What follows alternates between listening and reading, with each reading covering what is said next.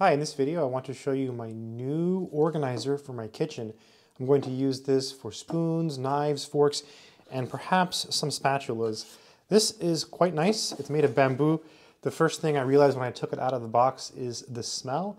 It actually smells like wood. I'm just gonna give it a whiff. Ah, oh, it smells so good. It's just like a nice piece of wood. So it expands, as you can see. Very easy to expand. Let's go ahead and test it out here in this kitchen drawer. I'm to go ahead and put it in here. And you can see it fits quite easily. And then you can expand it. And you're good to go. It does expand a little bit more. Let me show you something. So it does expand just a tad more, you see? So even though I'm not expanding it fully, well actually, fully expanded, it barely fits. Look at that. Yeah, it's fully expanded and it barely fits. So yeah, perfect. And if I guess if you're in a situation where like it doesn't fully expand, so maybe something like this, you'll still have some room.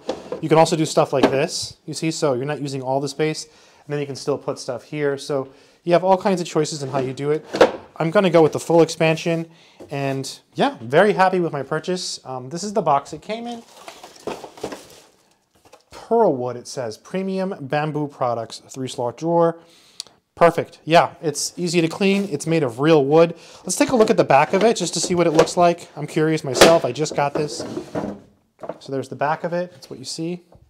It's just a nice piece of carefully crafted bamboo. Oh, it smells so good. I mean, I could just, as soon as I opened the package, I thought, wow, this is a quality product. I'm really happy I chose this one. There's different versions of these on Amazon. There's like other brands where they have well, they have like a back piece here and that you can put stuff there. I'm kind of glad I didn't get that because you can see this drawer, it's a pretty big drawer. I mean, I don't want to come out too far and have the drawer drop, but you know, I don't like to pull it out too far. So I don't like to reach too far back in to find stuff. So perfect. Super happy with my purchase. I think if you're looking for an organizer, let me give you a better look here. This one is totally worth it. I recommend it. I like it. And I am super happy with it. Good luck.